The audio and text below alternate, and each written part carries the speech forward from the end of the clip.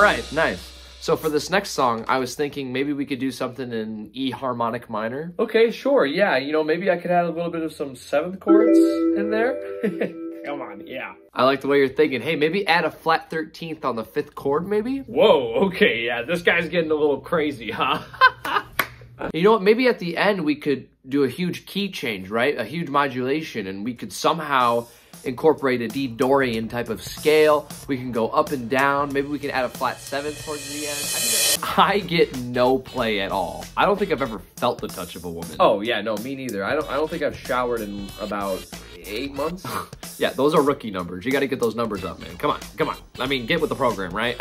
yeah, you know, I'm, I'm a little behind. I, I got to catch up. You know, I really wanted to learn drums, but I was like, you know what? I don't I don't think I'm Sigma enough. Yeah, man. So what do you what do you think about the song? Do you do you have any ideas?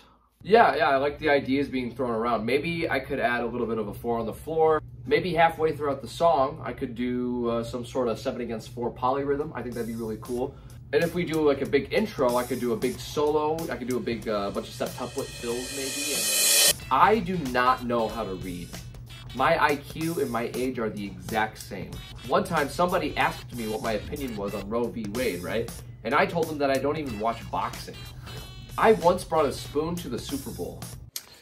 Hey kiddos, uh, do you guys mind just turning it down just a little bit? I'm trying to take your mom to Pound Town upstairs. I, I mean, we would, Dad, but we're really trying to prepare for this next concert, and we're trying to get enough people in there so they can book us for the next gig. And I think it's just really important for us as a band in order to grow and You should have pulled out. If only you had protection on. Remember the days where you wanted to be an astronaut? What happened to that? Now you got three little mistakes. You should have never hooked up with that stripper in Guatemala.